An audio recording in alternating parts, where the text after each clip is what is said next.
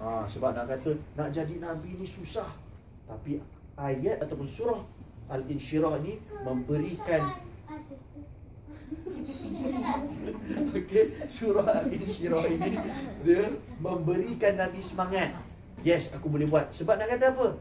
Kalau guna bahasa zaman sekarang, Nabi Muhammad, don't worry. Aku yakni Allah lah yang akan mengangkat kesusahan itu. Benda tu akan jadi senang. Jangan takut. Ha, yang tu yang Nabi jadi semangat. Okey, so bila Nabi dah kahwin dengan apa nama Khadijah, umur Nabi masa tu berapa tahun? 25. Khadijah 40. Okey. So bermulalah jadi apa nama suami isterinya apa semua. So siapa tahu? Siapakah antara orang-orang pertama yang terawal Nabi ajak ataupun Nabi sampaikan dakwah? Siti Khadijah binti Khuwailid. Siapa dia tu? Isteri Nabi. Nabi. Lagi. Abu Bakar Siddiq. Abu Bakar Siddiq. Lagi. Nabi Robah. Bila dia Bela Rumah. Yang lebih awal lagi Ali bin Abi Talib. Abu Bakar. Abu Bakar nak kata sebenarnya yang menjadi prioriti bila cakap tentang dakwah cari orang yang dekat dengan kita dulu. Keluarga kita dulu. Contoh, ustaz ceramahlah dekat adik-adik, anak-anak, makcik-makcik kecil sebelum ustaz tu sebaik-baiknya ustaz akan sampaikan kepada isteri ustaz. Nak cakap benda baik-baik bagus kepada semua tapi sebaiknya mulakan kepada diri sendiri dulu. Keluarga sendiri dulu. Ha, yang tu mudah-mudahan dapat keberkatan. Ha, yang itulah kita kata lead by example. Sebelum nak cakap kat orang, cakap kat diri sendiri dulu. Sebelum nak cakap kat anak orang, cakap kat anak sendiri dulu. Yang itulah contoh yang Nabi tinggalkan kepada kita bagaimana method ataupun cara nak menyampaikan dakwah pergi yang paling dekat dengan kita dulu. Okey, lepas itulah bila dakwah Nabi dah makin berkembang, yang itulah kita tengok bagaimana Nabi mula disayangi. Siapa ingat satu peristiwa Kaabah Suatu ketika dulu Suatu ketika dulu pernah roboh Oh, Jatuh, banjir. Masa tu Nabi Ha. 35 tahun. Oh lama tiga tahun lagi apa Nabi buat? Apa masalah yang ada masa itu? Bila roboh, diorang baru dibangunkan kan? Ha. Tiba-tiba sampai satu peringkat Hajarul Aswad Kenapa dengan Hajarul Aswad? Semua nak letak. Ha, semua berebut Bergaduh, bergaduh sampai nak letak. Macam mana nak jadi nak selesaikan masalah tu?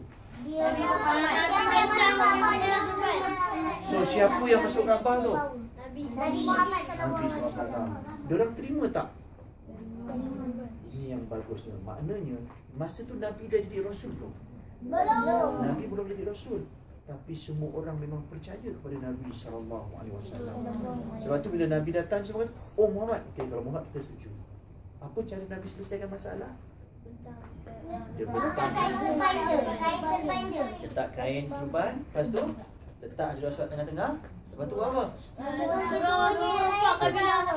Ah, ketua-ketua angkat Akhirnya macam mana? Semua orang Lepas tu bawa. Nabi letak dekat Nabi Nabi letak yang akan Ada letak. tak orang marah Nabi letak? Ada. Dekat situ dah menunjukkan Nabi Daripada kecil Sifat kepimpinan dia begitu tinggi. Tak ada siapa marah dia Semua sayang, semua suka Dan kalau boleh itulah yang kita nak. Kita duduk kat sekolah Semua orang sayang, semua orang suka. Orang boleh dengar cakap kita Dan kita boleh dengar cakap orang. Dekat rumah macam tu juga. Kita sulung ke kita bermusuh Kita jadi orang yang sentiasa membahagiakan semua orang. Dan yang penting sekali Semua orang percaya kepada kita. Percaya itulah nama Al-Amin. Semua orang percaya Oh dia bagus. Dia jadi ketua kelas. Saya setuju. Dia jadi pengawas Saya setuju. Kalau boleh semua orang Islam Mesti ada sifat itu Semua orang percaya Dan semua orang sayang Sampailah Nabi uh, berusia 40 tahun Nabi mula merasakan Dekat Mekah suasana dah Macam ish banyak sangat Maksiat, dosa dan sebagainya Yang tu Nabi mula naik ke satu gua Gua apa? Gua. Di situlah turunnya wahyu pertama. Apa dia wahyu pertama? Okey kita dah bincang panjang kan yang tu Sampailah Nabi dah dapat pertama Di situlah yang pertama Nabi diangkat menjadi Rasul. Okey. Bila Nabi dah jadi Rasul Yang kita kata dia bawa dakwah kepada Apa nama Khadijahnya Abu Bakar Ali dan sebagainya Sampailah kepada Nabi SAW mula menyebarkan dakwah tapi tak mudah. Banyak cabaran-cabaran-cabaran yang sampai akhirnya berlaku satu peristiwa pada tahun 10 tahun ke-10 Nabi diangkat di Rasul ada berlaku dua kematian. Siapa tahu? Khadijah. Siapakah yang meninggal pada tahun yang sama yang Nabi begitu sedih sangat? Talib. Bagus. Khadijah dan. Khadijah ni siapa? Abu Talib siapa? Dua-dua meninggal pada tahun yang sama. Tahun itu dipanggil apa? Tahun kesedihan. Tahun kesedihan. Kesedihan atau tahun duka cita. Dalam bahasa Arab dia panggil Amul Huzni. Amul Huzni. Tak apalah yang bahasa Arab tak payah. Okey. Okey. Amul Huzni. Tahun kesedihan. Tahun ke-10 Nabi diangkat menjadi Rasul. Okey, satu. Sedih. Tengok eh, Nabi sedih yang pertama isteri dia. Isteri dia Khadijah. Laki ke perempuan? Nak kata Nabi sebagai manusia sedih isteri dia meninggal. Tapi sebenarnya Nabi paling sedih bila orang yang paling banyak bantu dakwah Nabi meninggal. Yang tu yang Nabi sedih sangat isteri dia. Selama ni kan letih-letih ada isi tolong. Lepas ni Nabi mula terfikir macam manalah aku nak teruskan kerja dakwah isteri aku dah tak ada. Sebab tu dalam sebuah keluarga penting sangat kerjasama bantuan antara suami dan isteri. Sebab tu walaupun dia nabi, walaupun dia rasul, dia terasa sangat kehilangan orang yang selama ni bantu dakwah dia. Yang kedua siapa yang meninggal? Abu Talib. Abu Talib ni siapa? Dia Islam ke tak? Ha, Tak. dia tak Islam. Kalau kita tengok hadis-hadis cerita sirah, kita payah nak jumpa Abu Talib mengucap dua kali syahadah. Nak kata dia apa? Yang bukan Islam pun Nabi sayang. Jangan kita orang Islam ada perasaan tak pasal-pasal nak benci orang bukan Islam. Nabi tak ajar kita macam tu. Sebaliknya, cuba tunjukkan contoh yang baik kepada orang bukan Islam. Bukan tak pasal benci tengok orang yang bukan Islam kita benci tak. Nabi sayang. Bahkan dia ni bapa saudara Nabi. Nabi sayang kat dia. Cuma apakan daya sampai ke sudah tak mengucap. Cuma ingat bapa saudara dia cukup berjasa. Protect dia. Benteng dia, selamatkan dia. Ada orang nak kacau, jangan kacau anak saudara aku. Yang tu yang Nabi sayang. Ya Allah bapa saudara aku bukan Islam. Tapi dia tolong selamatkan aku sampai kat Islam. Sebab itulah lepas bapa saudara dia meninggal, isteri dia meninggal, Nabi mula teruk lagi diuji. Teruk kena seksa. Ha, yang itulah lepas tu kita tengok berlaku satu peristiwa. Nabi berhijrah. Nabi cuba untuk berhijrah. Ke mana masa tu? Madinah. Belum. Belum Yathrib, belum Madinah. Oh. Ke ke Oh, Taif. Ah, ni ke Taif ni berlaku satu peristiwa yang agak luar biasa. Nabi jumpa dengan pembesar-pembesar Saqif, Bani Thaqif. Bani Thaqif ni orang-orang dekat Taif. Nabi jumpalah Nabi kata, "Jom saya nak share." Tengok eh, kita adik-adik lah anak-anak ni kalau kita nak cerita kat orang biasa kita cerita tentang apa? Biasa kita cerita benda yang kita suka. Hantu. tak benda lah Mak. Okay Kita ceritalah Eh awak awak awak Fatin Awak tengok tak dalam anak muslim? Muka saya ada masuk. Contoh kan? Ha, Contoh. Saya menang jadi DJ ke apa Contoh eh? ha, okay? Kita akan cerita apa yang kita suka. Nabi pula Dia pun share apa yang dia suka. Dia ceritalah tentang Bagaimana Eh best tau masuk Islam. Dia share dekat Bani Saqif Tapi Orang-orang Bani Saqif Tak terima Nabi Apa yang berlaku pada Nabi apa berlaku kat Nabi bila orang-orang Taif tak nak terima Islam? Dia orang baling batu. Batu. Ha, dia orang balik batu dia kena tumit. Nabi dengan siapa masa tu? Abu Bakar. Kan Abu Bakar masih hijrah dekat Madinah. Ha, dengan siapa? Ali. Ali ampun. Salah. Bila Rabah pun salah lah. Salah lah. Zaid. Zaid, Zaid mana satu ni? Zaid bin Sabit. Zaid bin Harithah. Oh, yang ni Zaid bin Harithah dia protect Nabi. Sahabat-sahabat dijaga-jaga Nabi sungguh. Orang baling batu dia protect. Jangan, jangan, jangan, jangan. Tapi tetap berdarah Nabi. Yang itulah sampai kat satu tempat, Nabi sampai dekat satu kebun. Kebun apa? Baru. Kebun anggur. Sebenarnya tak cakap kebun durian lah. Juga kan. Sampai-sampai Nabi sampai dekat kebun anggur. Ha, Taif. Taif sampai sekarang kan kalau kita pergi umrah, boleh pergi Taif. Daripada Mekah pergilah dalam 90 km lebih kurang, 100 km sampai ke Taif. Taif ni tempat dia cantik. Kalau kita kat Malaysia ni, dia lebih kurang macam Cameron Highland. Dia naik atas bukit sikit dia sejuk. So buah-buahan cantik kat situ. Sebab tu bila Nabi dah kena baling-baling Nabi letih, Nabi sedih. Nabi duduk dekat kebun anggur tu milik Uqbah bin Rabi'ah. Nabi pun mengadu kepada Allah. Sedih tak? Kita nak bawa benda baik. Kita nak cerita benda baik. Orang tak nak terima, satu hal tak apalah. Awak tak nak terima Islam tak apa. Tapi janganlah apa-apakan saya. So kali yang ni orang-orang Bani Thaqif ni dekat Taif, dia kumpulkan budak-budak. Budak-budak tak tahu apa. Bu, apa kau ni bodoh gila. Kata-kata tu sakit tak hati kita dengar? Kalau orang cakap benda-benda yang jahat. Eh aku tak buat apa-apa kenapa kau nak marah? Dia kata dia maki, dia kata dia tak elok. Dia baling batu. Nabi pun lebih sedih, batu sakit dah. Kata-kata sakit kat dalam. Tapi yang Nabi lebih sedih ialah dakwah yang dia sampaikan orang-orang Taif tak terima. Masa ni lah penting satu sabar. Nabi sampai dekat kebun anggur tu Nabi berdoa. Doa dia panjang. Cuma ustaz ringkaskan bagaimana Nabi doa. Ya Allah, aku dah usaha apa yang aku ada tapi aku lemah. Aku tak mampu nak ceritakan semua kepada mereka. Mereka tak dapat nak terima. Nabi pun mengadu sehabis-habis mengadu. Dan ini satu contoh yang cukup baik. Kalau kita ada masalah apa-apa, percayalah. Mengadulah dengan Allah. Mengadu kepada Allah. Allah kan maha mendengar. Kawan kadang-kadang dengar, kadang-kadang tak dengar. Mak ayah insya Allah dengar. Itu pun kadang-kadang ah, sibuk dengan WhatsApp, sibuk dengan surat khabar, tak pun dengar juga kadang-kadang. Tapi percayalah, Allah maha mendengar. Mengadulah ke Allah. Maka Nabi mengadu. Masa Nabi tengah mengadu kepada Allah Subhanahu Wa Taala yang apa nama tuan punya kebun anggur ni dua anak kepada Rabi'ah ni dia pun dia pun bawa dia punya pembantu nama Adas. Namanya Adas. Ha, Adas ni orang yang bekerja dekat kebun anggur tu. Maknanya tu dia kata Adas kau pergi kesian pula tengok dia ni.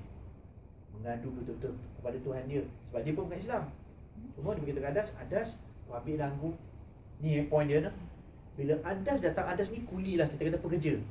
Pekerja kepada tuan punya kebun anggur ni. Adas datang bawa dekat Nabi. Nah, makanlah anggur ni. Tengok Nabi. Kalau kita satu letih. Kedua sedih, letih, marah semua ada. Sakit hati. Orang bagi anggur. Oh, terima kasih. Makanlah kan. Tapi Nabi dia punya akhlak Masya Allah Tak pernah berubah Tengah marah ke tengah suka Dia tetap sama Nak makan Masuk je mulut. Bismillah. Itu je. Ingat eh tadi Nabi berdakwah nak suruh orang masuk Islam. Orang tak nak orang balik batu apa. Tiba-tiba yang ni Nabi just orang bagi dia anggur Nabi masuk. Bismillah. Kita pun kadang-kadang makan Bismillah tak Bismillah. Tadi kat kafe baju Bismillah tak? Macam tak aja nampak anggur. Tak makan. Tak makan. Ah. Masuk je mulut. Nabi Bismillah. Anas terkejut? Nah, Kenapa? Sebab Anas kata Aku pernah dengar, aku biasa dengar Bacaan itu Tapi bukan kat sini. Maka Nabi pun terkejut Eh, Anas Kau ni daripada mana? Sebab Anas kata Bismillah ni Orang tertentu je yang baca. Dia pun kata Aku daripada Ninawa Ninawa ni kalau kita kata Dekat belah-belah atas Okey, tak payah hafal nama ni. Ni Nawa ni. Ha, okey, jangan risau bab ni. Cuma poinnya nak kata Nabi nak makan dia baca bismillah. Bila baca bismillah, oh Nina, alamak. Bukan Nina. Okey, Ninawa. Okey. Ninawa. Bila Nabi apa nama tu tanya kau daripada mana? Aku daripada Ninawa. Oh, Nabi terus cakap. Kau kenal tak Yunus? Yunus ibn Matta. Nabi Yunus. Ha. Lepas tu Nabi pun beritahu dekat Andas, Andas. Yang si Andas pun seronok. Terus cium Nabi, peluk Nabi dan riwayat kata dia pun masuk Islam. Tengok Yang ni buat sungguh-sungguh tak dapat apa-apa Tiba yang ni Bismillah aja Terus orang masuk Islam Sebab tu benda-benda yang baik macam ni Amat baik Kalau boleh kita pun macam tu Dekat sekolah kita Kan ada sekolah yang semua orang Islam Ada sekolah yang campur-campur Islam tak Islam Cuba kita buat benda yang sama Kita sebagai Islam Apa salah? Baca Bismillahirrahmanirrahim Entah-entah ada orang kata Eh, eh menarik ni kau baca tu Aku pun nak baca juga ha, Kita pun ajar-ajar Mudah-mudahan Satu hari dia peluk agama Allah Subhanahu wa ta'ala So bila balik itulah yang akhirnya Allah nak hiburkan Nabi Allah bawa jalan Nabi jauh Sampai ke langit ketujuh Apa peristiwa tu? Isra' dan Isra'. Isra dan Mi'raj. Ayat apa dalam Quran cerita tentang Isra tersebut? Siapa tahu? Surah apa? Surah Al-Isra. Ayat Satu. bagus. Surah Al-Isra ayat 1. Subhanalladzi asra bi 'abdihi lailan minal masjidil harami ilal masjidil aqsa. Okey, hingga akhir ayat tersebut. Ha, ni kenapa pula ni? Dah sampai ni nawa ke apa? Cancel di sini, don't worry Isra. Dia nak Isra dah. Sabar dulu. Okey. Isra waktu malam. Ha, ni belum malam lagi. Okey. So, dekat situ yang kita tengok berlakulah peristiwa Isra Mi'raj, Allah nak tunjukkan kebesaran dia. Ha, Ustaz pernah cerita tak pasal Isra Mi'raj? Isra Mi'raj ni dia menarik bila akhirnya Allah nak tunjukkan kepada Nabi nak bagi yakin kat Nabi Don't worry, ini baru small matter Sebab kan kita kata Nabi sedih isteri dia meninggal Nabi sedih bapa dia meninggal Allah tunjuk Muhammad kau jangan sedih. Itu semua manusia Yang akan memberikan bantuan kepada kau. Ingat macam cerita Ababil Engkau kan ada aku. Jom aku bawa engkau Aku tunjuk kebesaran aku. Semua tempat Allah tunjuk Sampai Allah bagikan Nabi formula nak memenangkan Islam Iaitulah solat. Isra' Mi'raj Benda yang paling penting yang nak faham Allah anugerahkan kepada Nabi Satu formula kepada umat Islam Macam mana nak berjaya? Nombor satunya ialah solat. Sebab solat ada disiplin. Solat ada time management. Solat berjemaah dia ada ketua, ada imam. Dan benda-benda itu ada dalam solat tersebut. Okay? Sebab itulah bila balik daripada Isra Miraj Nabi mula menyusun strategi Bagaimana nak hijrah. Kali ini barulah hijrah yang sebenar. Hijrah ke mana?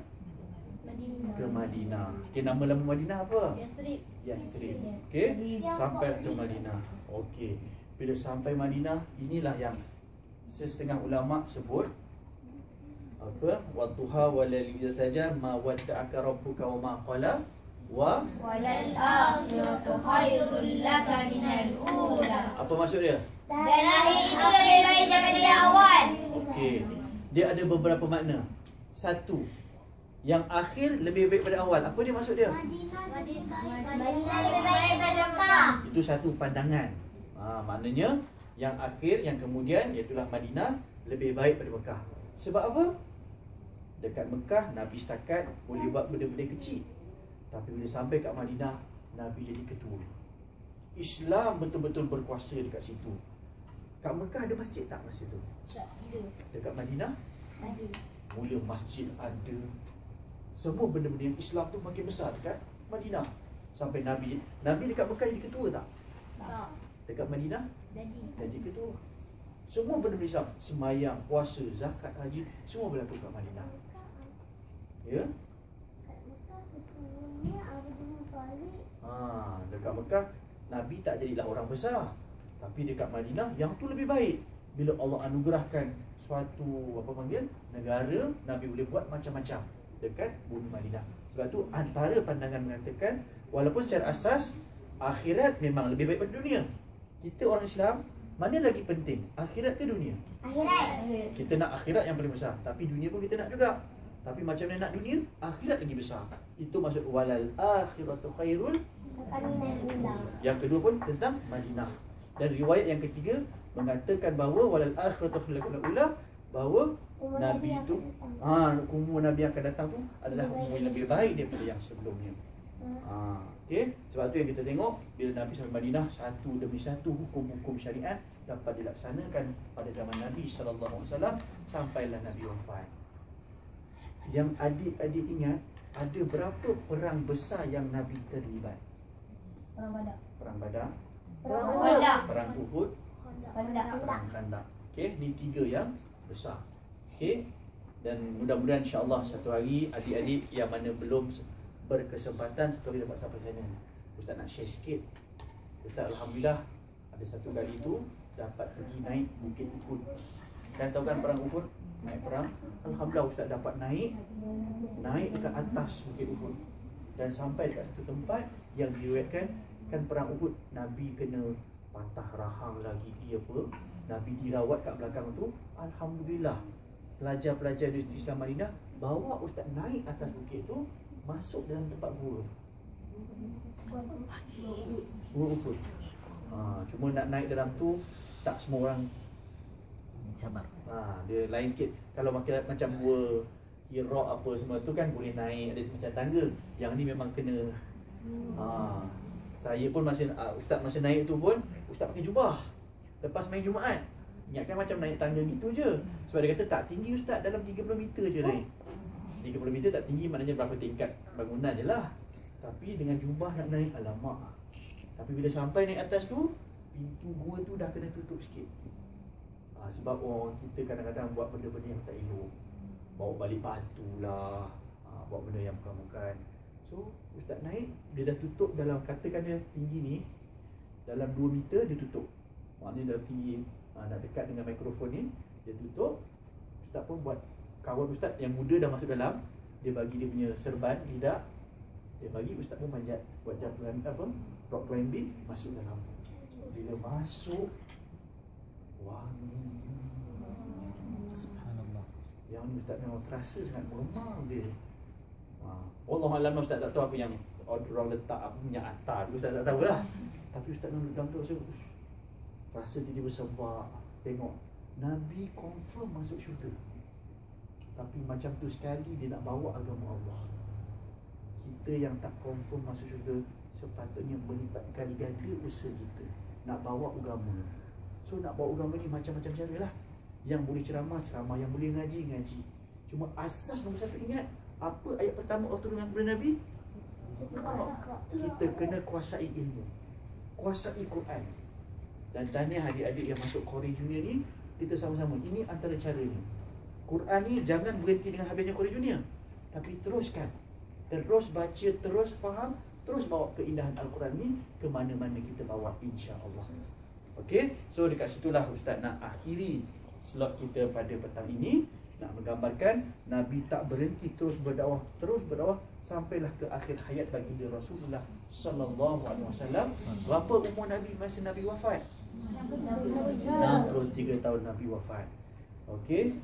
Dan bila Nabi dah selesaikan Mekah dan Madinah, akhirnya Nabi merdekakan juga kampung halaman dia dengan pembukaan kota Mekah. Okey, yang tu yang datang surah Iza jaa nasrullah wal fath. Ayat itu menceritakan tentang pembukaan kota Mekah.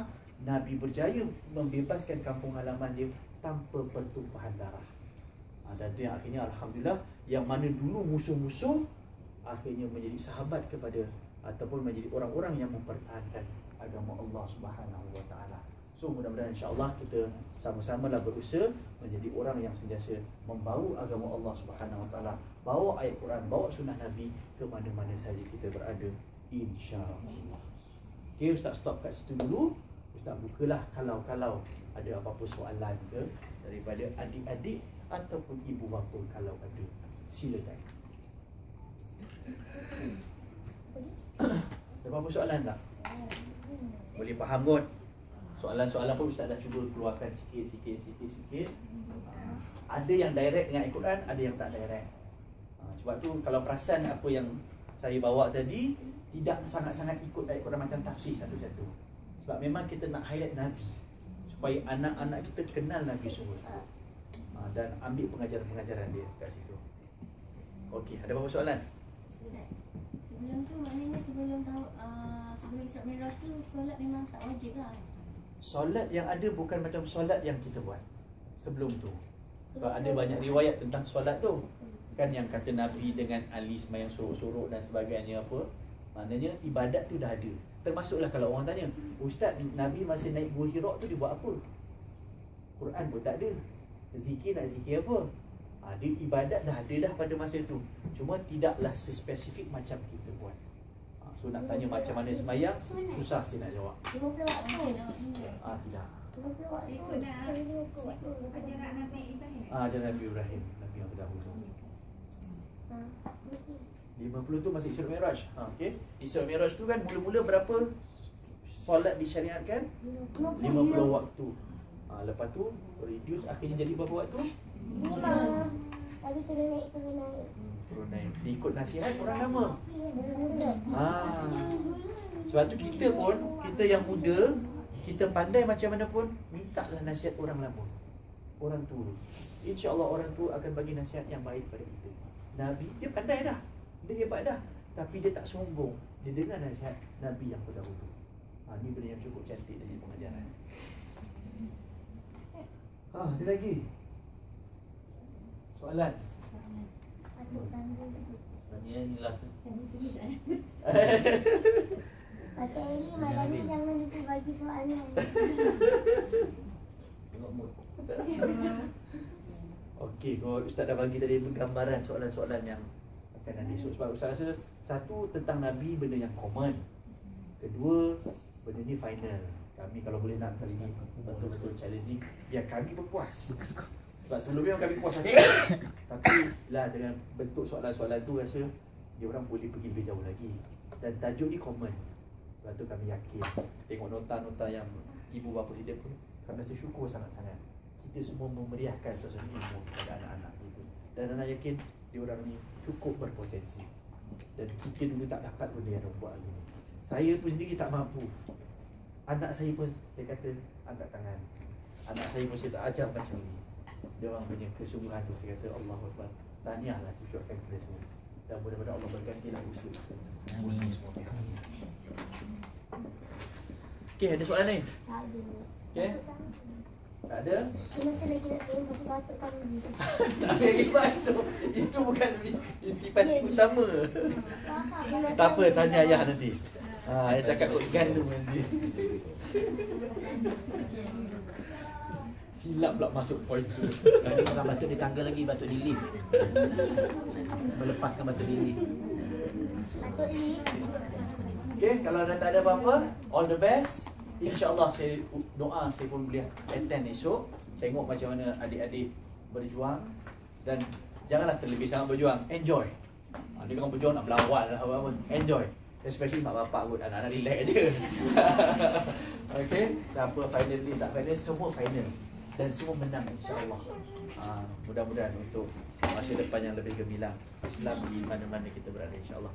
Okay terima kasih semua. Minta maaf semua. Terlebih kurang Wabillahi taufiq hidayah. Assalamualaikum Warahmatullahi Wabarakatuh. Terima kasih Terima kasih Terima kasih. Terima kasih. عبد الرحيم.